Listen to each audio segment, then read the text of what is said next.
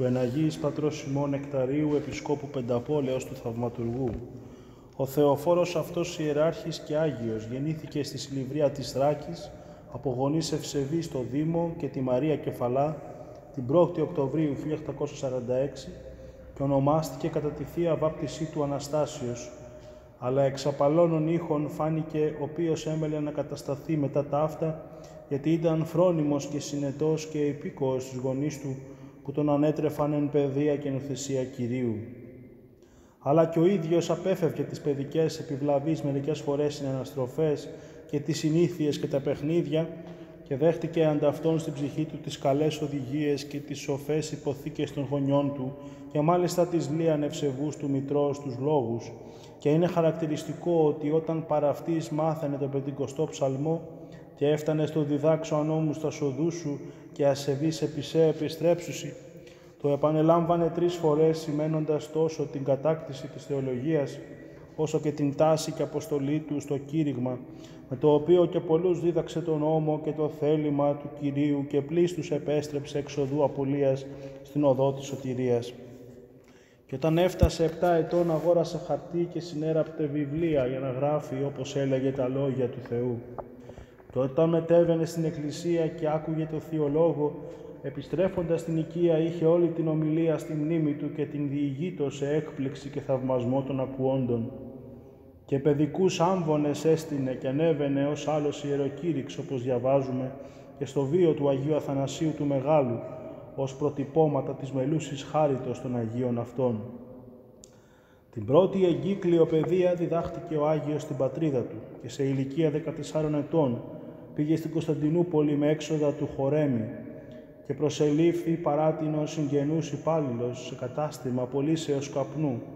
όπου όμως και εκεί δεν έπαψε να μελετά και να γράφει στα περιτυλίγματα των εμπορευμάτων λόγια, δηλαδή ρητά και αποφθέγματα προς οικοδομή του πλησίων, το οποίο υπήρξε και το πρώτο του βιβλίο, κυκλοφορηθέν έπειτα από πολλούς χρόνους ως λογίων θησάβισμα, με χιλιάδες κυριολεκτικά αποσπάσματα από την Αγία Γραφή και τους πατέρες της Εκκλησίας, αλλά και από τους Ρωμαίους κλασικούς και άλλους σοφούς. Αγαπούσε να εκκλησιάζεται τακτικά και να παρακολουθεί τις ιερές ακολουθίες, συχνάζοντας σχεδόν καθημερινά στο ναό και έτρεφε διακαή πόθο προς τη μοναχική πολιτεία και μετά από λίγο προσελήφθη ως παιδονόμος στο σχολείο στο μετόχι του Παναγίου Τάφου, όπου με πολύ ζήλο εκτέλεσε την υπηρεσία του διδάσκοντας και στις κατώτερες τάξεις, ώσπου εικοσαετής αναχώρησε και την νήσο Χίο, όπου στο Λυθί διορίστηκε δημοδιδάσκαλος για επτά έτη, διδάσκοντας και τους μαθητές αλλά και πάντες τους χωρικούς στην ευσέβεια και την αρετή, δίνοντας το παράδειγμα και ζώντας βίο λιτό και μάλλον ασκητικό, ιδιαιτέρως αγαπώντας την προσευχή και τη μελέτη και πολλές φορές κηρύττοντας και στο ναό το Θείο Λόγο. Ζηλωτής του μοναστικού βίου, επισκέφθηκε πολλές φορές την Ιερά Μονή Αγίων Πάντων, όπου συνδιαλέγεται με τον αισιότατο γέροντα Παχώμιο, από τον οποίο μοιήθηκε τον υψηλότερο βίο και έτσι στις 7 Νοεμβρίου 1876 εκάρει και μοναχός Λάζαρος στην Ιερά Μονή, όπου υπηρέτησε και ως γραμματεύς επί μια τριετία οσίως, ώσπου τον επόμενο χρόνο χειρετονήθηκε και διάκονος την ημέρα της βαπτίσεώς του, 15 Ιανουαρίου, υπό του Μητροπολίτου Χίου Γρηγορίου, στον Ιερό Ναό Αγίου Μινά με το όνομα Νεκτάριος. Επειδή όμως η καρδιά του εφλέγεται για να σπουδάσει την Ιερά Θεολογία και να διακονήσει καλύτερα και να φανεί χρήσιμο στον περιούσιο λαό, αλλά μέσα και πόροι ηλικοί δεν υπήρχαν. Ο Θεός φώτισε ένα χείο ευσεβή εκ των πλουσιωτέρων της νήσου τον Ιωάννη χορέμει να τον αποστείλει ιδία δαπάνη στην Αθήνα, όπου έφτασε μελετώντας νύχτα μέρα ο Άγιος, αλλά εν τω μεταξύ εξεδίμησε ο ευεργέτης του και έτσι κατέφυγε στην Αλεξάνδρεια και στον Πατριάρχη Σοφρόνιο, ο οποίος τον σύστησε και επανήλθε και ενεγράφει το 1882 στο Πανεπιστήμιο Αθηνών αξιοθής και του πτυχίου του προλήτου της θεολογικής το 1885 με υποτροφία του Α. Παπαδάκη έπειτα από διαγωνισμό ως τύπος εναρέτου κληρικού σεμνός τα ήθη και Χριστός τους τρόπους, ευσχήμων και ευλαβής και πράος και ταπεινός και συνετός ώσπου περάτωσε τις σπουδές για να επανέλθει στην Αίγυπτο όπου χειροτονήθηκε πρεσβύτερος στον Ιερό Ναό Αγίου Σάβα το 1886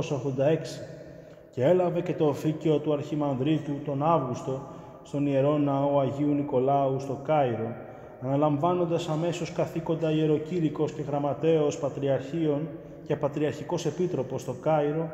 δεικνύοντας απαράμιλο ζήλο και αξιέπαινη δραστηριότητα, εκτελώντας με φόβο Θεού και πολύ αγάπη τα ιερά του καθήκοντα, αγιογραφώντας και τον Ιερό Ναό Αγίου Νικολάου, ώστε μετά από ένα έτος χειροτονήθηκε και Μητροπολίτης Πενταπόλεως στις 15 Ιανουαρίου 1789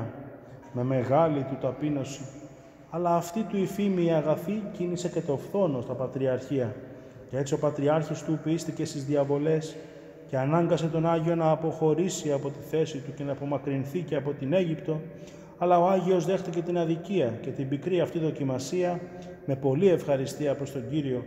γιατί οι εμέ δίωξαν και ημάς διώξουσι. Ο ευλαβής λαός έκλαψε για την απώλεια του καλού ποιμένους, ενώ ο Άγιος έφτανε στην Αθήνα στερούμενος παντελώς χρημάτων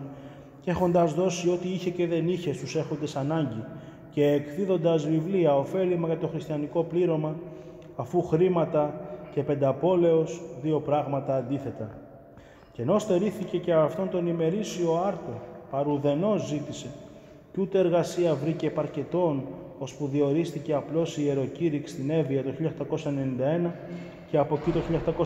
1893 μετατέθηκε στη Φθιώτιδα και Φωκίδα μέχρι το 1894, λάμποντας παντού με τις Ευαγγελικές του αρετές, γιατί προσκλήθηκε 8 Μαρτίου 1894 να αναλάβει τη Ριζάριο ως διευθυντής της, όπου και με την αγιότητα του βίου του και τη βαθιά του μόρφωση θύραθεν και θεία και με τις πατρικές του παρενέσεις επιβλήθηκε σε όλους και η σχολή απέβη φυτόριο μαθητευομένων για τη διακονία της Εκκλησίας ως μοναχός δεσποτοκαλόγερος, με πολλή προσευχή και διηνεκή μελέτη και συγγραφή ιερών βιβλίων, διδάσκοντας συγχρόνως μαθήματα της σχολής και αφήνοντας εποχή κατά τα 14 έτη που τη διήφθηνε λειτουργώντας και κηρύττοντας και εξομολογώντας στην Αθήνα και τον Πειραιά και στην εξαρχία του Παναγίου Τάφου πηγαίνοντας συχνά.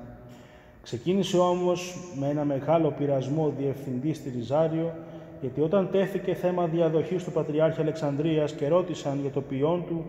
πάλι έπεσε θύμα συκοφαντιών, αλλά και πάλι, αφού διαμαρτυρήθηκε και εγγράφος για μοναδική φορά στη ζωή του και κυκλοφόρησε το θησαυρολογίον, έλαμψε η αθωότητά του και αστήχησε στην Ορθοδοξία ένας λαμπρός Άγιος Πατριάρχης που θα αναδεικνύεται βεβαίως ο Άγιος Νεκτάριος. Το θέρος του 1898 επισκέφθηκε το Άγιο Όρος ως ευλαβής προσκυνητής και έπειτα που χείρεψε ο θρόνος της Αλεξάνδρειας δεν ήθελε να αναλάβει τέτοια ευθύνη για το καλό όλων, παρά αποφάσισε και ίδρυσε με πολλούς αγώνες γυναικεία μονή το 1904, ώσπου παρετήθηκε από τη Ριζάριο το 1809, το 1907 και ασχολήθηκε με τις μοναχές της Έγινας, απαλλαγμένος επιτέλους από τις άλλες φροντίδες και μέρημνες, εφαρμόζοντας τέλειο κοινοβιακό σύστημα,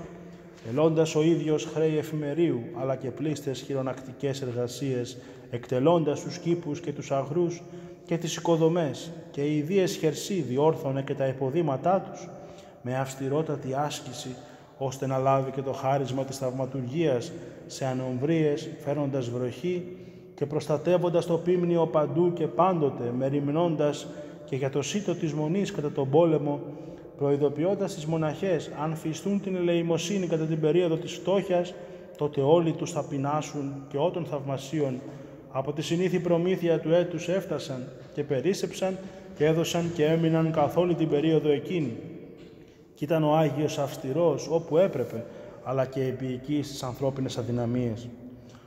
Πλούσιο είχε και το χάρισμα και τη συγγραφής, όπως μαρτυρούν οι αγώνες του, καθ' όλη του τη ζωή, και η πολυμάθειά του με τον πλούτο της θύραθεν και θεία Σοφίας. Και ενώ οι πειρασμοί δεν έλειψαν και με τον νέο Αρχιεπίσκοπο Αθηνών, τον Πασίγνωστο Μεταξάκη,